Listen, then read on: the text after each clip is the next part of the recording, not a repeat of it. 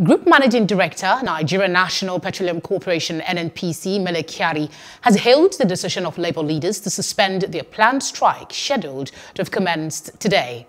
Kyari, in a tweet on his official Twitter handle on Monday, praised the leadership of the unions for choosing the pursuit of common good. Kyari said the Nigeria Labour Congress and the Trade Union Congress had by their action demonstrated absolute faith in the country. We go Hello. to Edo State. Hope you enjoyed the news. Please do subscribe to our YouTube channel and don't forget to hit the notification button so you get notified about fresh news updates.